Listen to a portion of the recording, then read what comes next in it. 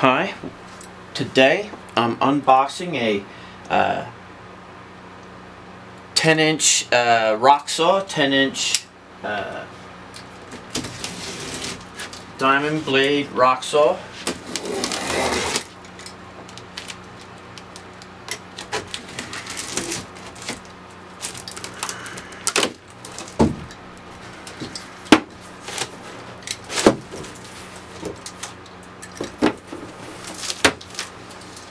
Well packed, it looks pretty secure. Got some paper on top. Take that off. I can see the saw, it's right available. Put that to the side. Got a the uh, vise and slide all wrapped with some paperwork. Got the lid with the guard slide into place. Put that aside. Got the in let's pull it out. Let me pull this out. I'm going to grab it by the body. Never grab it by the shaft. I'm going to locate the box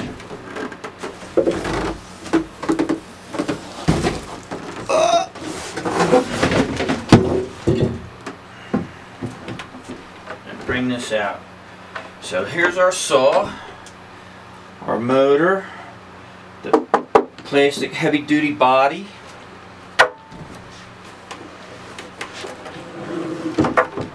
It'll sit this way.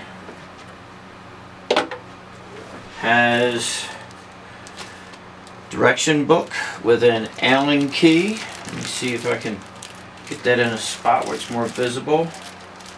Allen key for maintenance. And here is a saw blade. Let me open that up.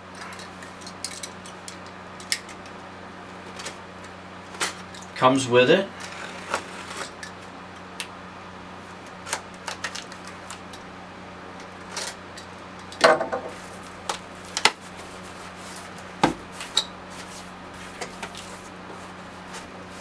Nice green saw blade.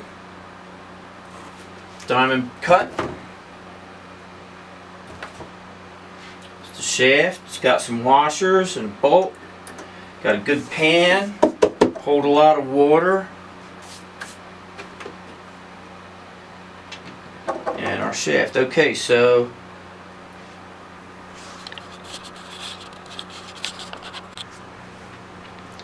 Okay, so here's everything that came with the kit.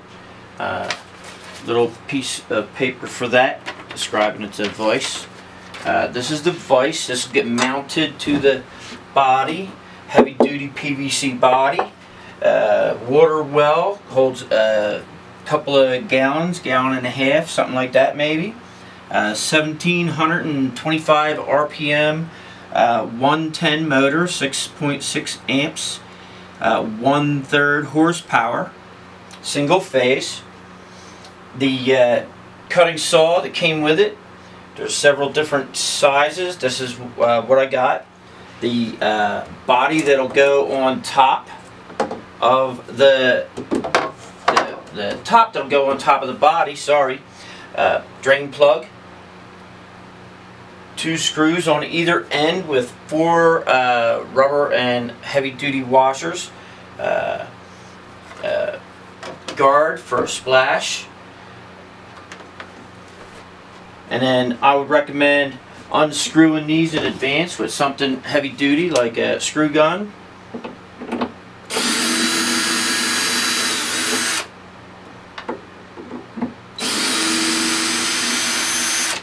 Like so and I'm going to prepare to uh, mount the vise onto the body and install the blade onto the shaft.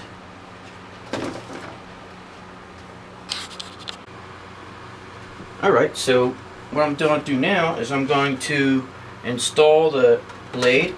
I got the screw mostly all the way out. Finish that process. Unscrew that. Slide the brass end off. It's got some uh, grease on the end. We want to be careful not to disrupt that. So I'm going to get as close to the wall of the tub that I can so I don't disturb that little bit of grease and then get my, oh, sorry, my bad. Got to take off the nut. I'm going to have to remove that grease anyway. There it goes. Take off two washers. Leave two washers. There it is.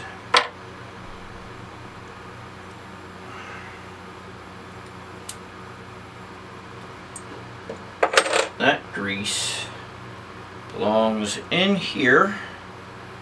Lubricant for that. Okay, so now we're going to put our blade onto the shaft, put our two washers back on, put our nut back on. I'm going to give it a good hand tighten. Hmm. And then just a little bit more with the plier. A channel lock plier just a just enough to make sure it's tight. We don't want to crimp anything or damage anything. Now I'm going to put this back on the way it came off nice it's got a little hole so that it doesn't get stuck and gummed up. Put that screw back in there. Tighten her down. Line it up. Sorry. Tighten her down.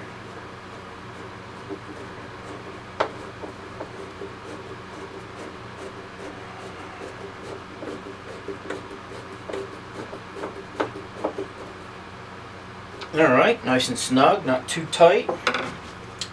Next thing, I'm going to put this on top of the reservoir. I'm going to install the clamp, the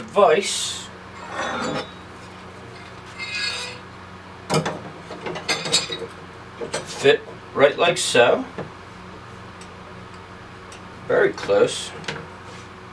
Alright, we got two holes. Now I had to already uh, remove, I removed the screws, all four screws already. Uh, they have two washers, rubber and metal, on both pieces. So one washer goes on the inside and one washer on the outside of the clamping bracket line that up.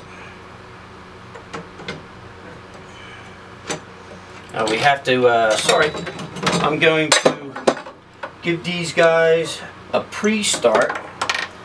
These rubber washers are a little bit difficult. They have to be threaded on. Got a little technique to them. And then once that's started to be threaded like that, then we can get the other one. Let me get those installed and start it and then I'll get back.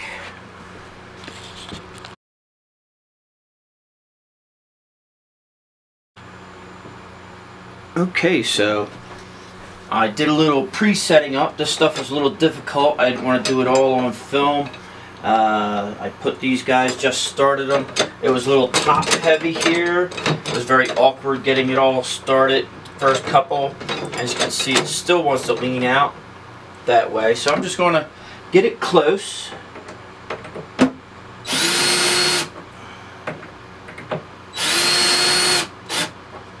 And then the washers are each facing with the rubber against the bracket.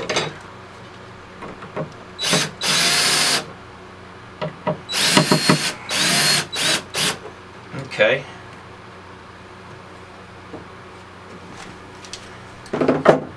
Little fine tuning, I'll use the handheld.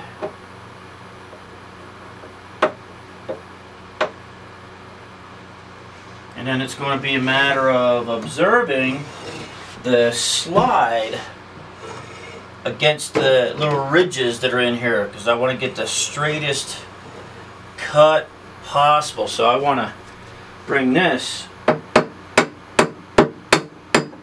just that way a little bit. It's so close. Alright, just a hair. Let's see how that looks.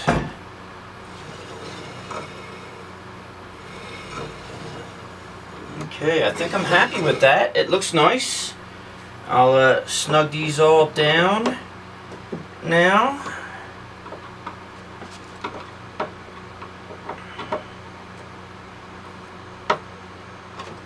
By hand.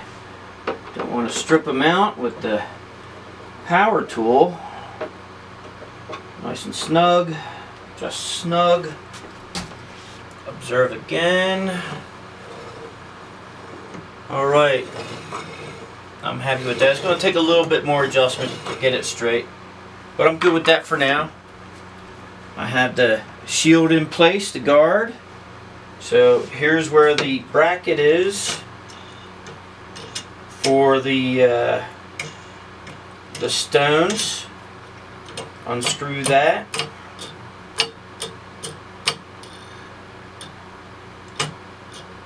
Get these guys in place.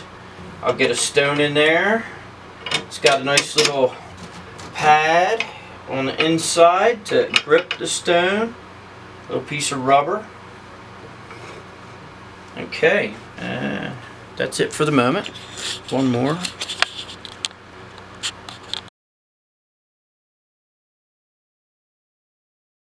Okay, so I've set it up in its permanent location here put a couple of little uh, spacers under this side because the table leans pretty far so now it's nice and level.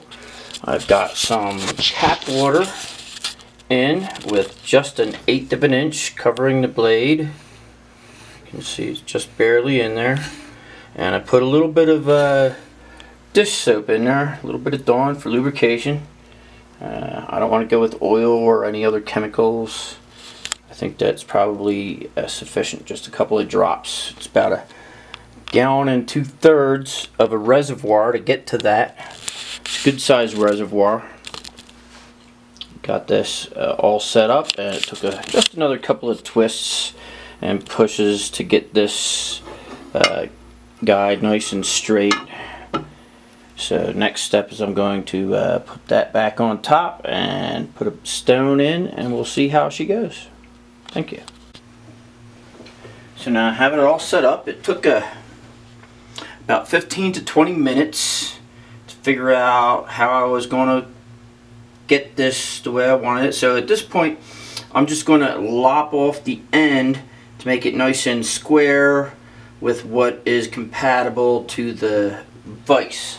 I'm wearing my apron and my visor during this process.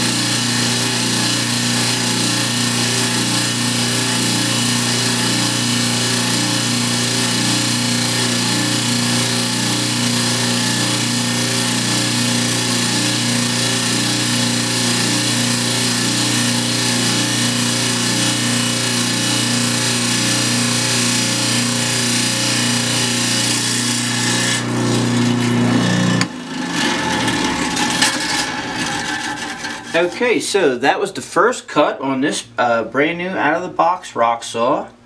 This is the piece that we cut off. It's just a nice steady pressure. That was real time. I wasn't trying to, I'm not looking to uh, overspeed anything.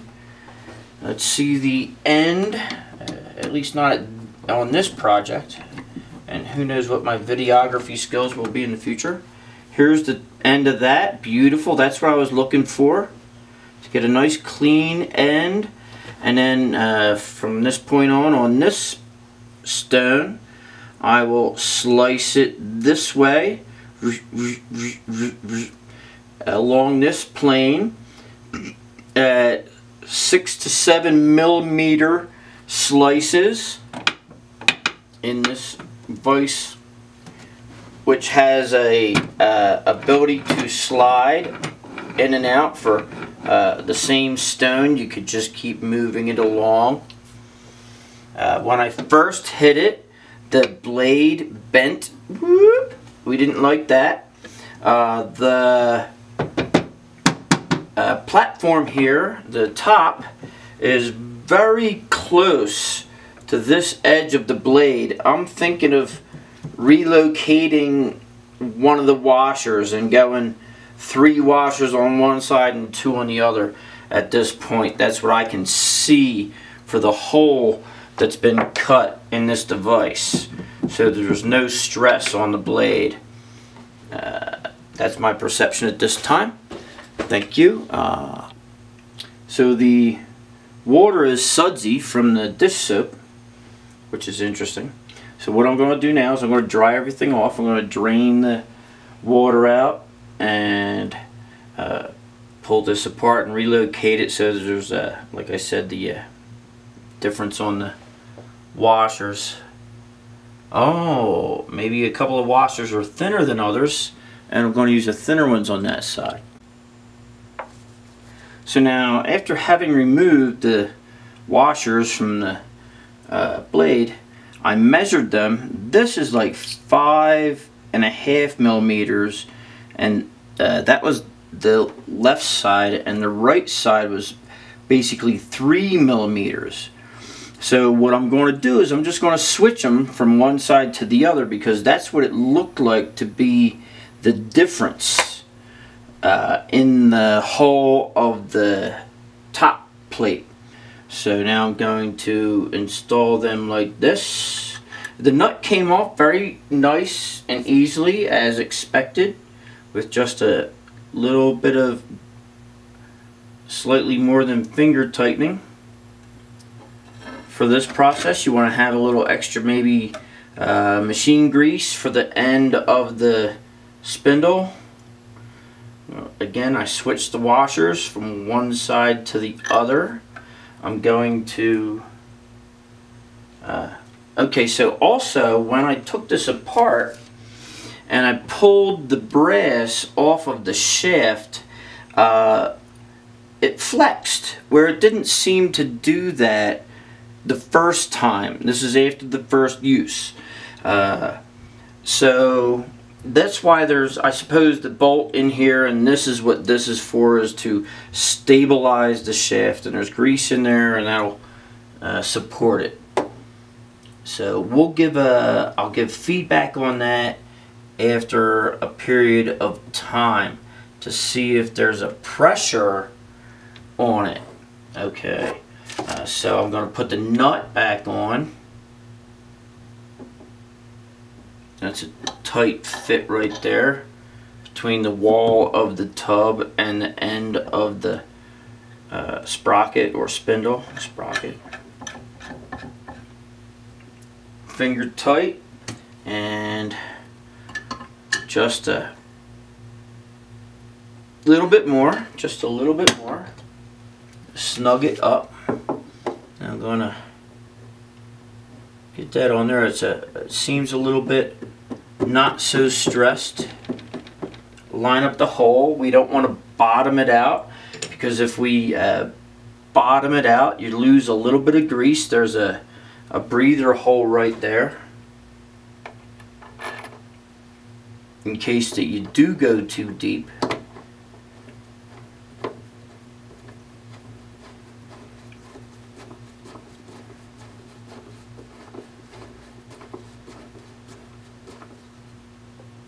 This is a high tech, that's the name brand, high tech diamond 10 inch saw. So now I'm going to uh, put the top back on and see how that lines up, if it's any better. Oh yes, yes, that's much more centered. I feel more comfortable not having to put shims or adjust this to accommodate the area where the blade is. So that's great. There's still two washers on each side. Again, check the uh, size of the washers all together. Make sure they're even. And line them up good with the hole in the plate. I pulled it away from the table and put a bucket under it to collect the water. I'm going to prop it up with a piece of something and get all the water out, wipe it down, get it nice and dry. I want everything nice and dry. I don't want anything rusting. I don't want any moisture in the uh, bottom of the trough to uh, expose itself to the blade and whatnot and the materials. So we want to keep our equipment nice and dry keep it uh, fresher longer. I have everything covered with a 2 mil plastic. Okay, so I'm at this point in the video where uh, I've this has come apart. The little plastic knob in the end has uh, come out and it refuses to go back in. That's the only thing that was holding it to the bracket. These brackets are very thin and flexible at the top. So what I'm going to do, uh, this is hollow inside. What I'm going to do is I'm going to go to a nearby machine shop and have them duplicate this rod with a solid rod and to drill the end so that I can uh, tap it with a uh, uh, a self-tapping metal screw uh, with big washer. I'm also going to have them refabricate uh, brackets that are a little bit more beefy and able to take it when uh, this is not, uh, like I said, in the process of putting it together and taking it apart, this thing flopping around, it's bent the brackets on both ends, and I'm not, not too happy with that. Uh, this seems fine. The blade is fine. Everything else seems very good. The structure of the body is great. Uh, again, in the process of making the video, I, I took this off once and put it back on and when I went to screw this in it's got a unique uh, nut type design that almost stripped out uh, so I'll have to find out if that's going to hold up to uh, taking this apart and uh, re-bracketing it if that happens then I'm going to replace that uh, with a just typical uh, nut and screw with a washer so that's where we are at that rate. Thank you.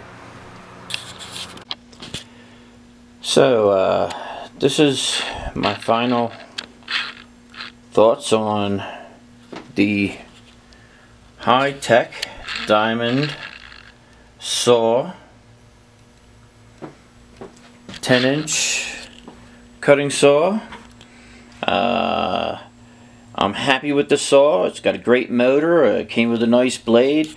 I cut stone with it, as you saw in the other part. Uh, and today I, I cut this two days ago in half as an experiment. And then today I cut this jar, which was a uh, kind of a, a dip jar, uh, into three pieces. I cut this jar, which is a, a drink jar, into three pieces. I cut a, a Grand Marnier bottle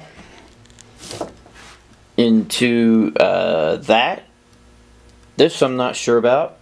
This little guy, which has a unique little bulbous shape to it, and then rings. which I intend on polishing and cleaning up. Uh, I did this all freehand without the the uh, vice and sliding device.